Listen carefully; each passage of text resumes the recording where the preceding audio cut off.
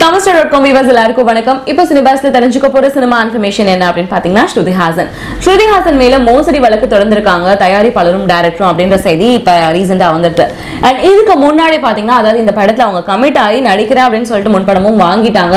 திடீர் car sheet கிடைக்கல அப்படின்றதால நடிக்க மறுக்கிறாங்க அப்படின்ற பிரச்சனைனால தான் மோசடி வழக்கு தொடர்ந்தாங்க அப்படின்ற செய்தியும் வெளிவந்துருது.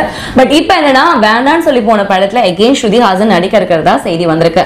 என்ன காரணம் அப்படின்னு பாத்தீங்கன்னா ஸ்ருதி ஹாசனோட நெருங்கிய வட்டாரம் தயாரிப்பாளர் டேரக்டர்ஸ்லாம் பிரச்சனை வேணாம். ஸோ கால் ஷீட்டை வந்து எப்படியாவது கொஞ்சம் கொஞ்சமாக ஒதுக்கி தந்தது அந்த படத்தில் நடிச்சு முடிக்கிறதுக்காக பார்த்துக்கோ அப்படின்னு சொல்லி தெரிவிச்சிருக்காங்களாம்.